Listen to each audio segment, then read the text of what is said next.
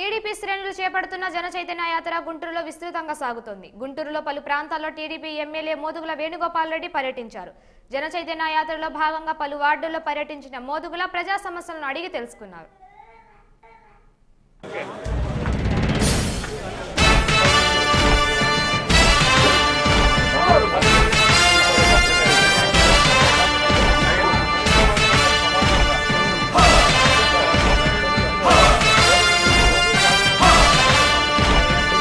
కదలి రండి తెలుగుదేశ కార్యకర్తలారా